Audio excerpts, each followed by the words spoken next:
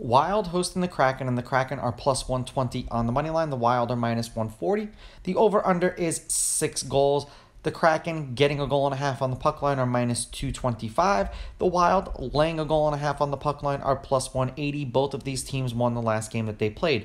Now, understand these are the overnight odds. They're going to change the closer we get to puck drop tomorrow. Before you bet on this game, go to a site like VegasInsider.com. It'll allow you to compare all the casinos' pricings, whether you bet online or in person, and then use a website like Covers.com. It is totally free. We'll have every gambling stat known to man in this matchup, and then it'll also show you who was in net and who may or may not be playing in tomorrow's game.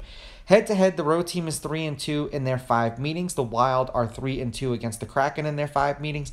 The favorite is three and two on the money line. The underdog, though, getting a goal and a half on the puck line is three and two.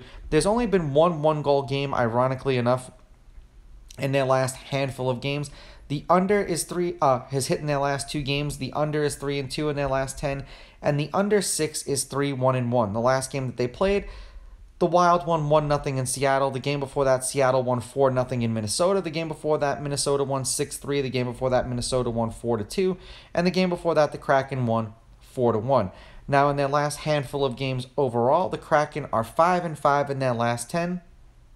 And the over is 7 and 3 in their last 10 games. We've had 9 goals, 3 goals, 9 goals, and 10 goals in the Kraken's last four. They've scored 7, 1, 5, and four in their last handful of games. And one, two, three, four, five of their last 10 games that they've played have gone into overtime or a shootout.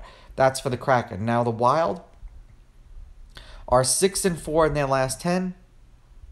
And the over is seven and three in their last 10 games as well. We've had four goals, nine goals, three goals, and eight goals. They've scored three, four, three, and five in their last handful. Two out of their last three games have gone into overtime, and four out of their last 10 have gone into overtime.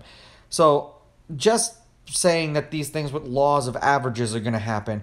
I'm going to take the Wild on the money line. I'm going to take the Kraken getting the goals, and I'm going to go over because both of these teams are trending over. And let's hope for a 4 to 3 or a 5 to 4 kind of exciting overtime game. These are just my picks. If you disagree, please go with your gut and please bet responsibly.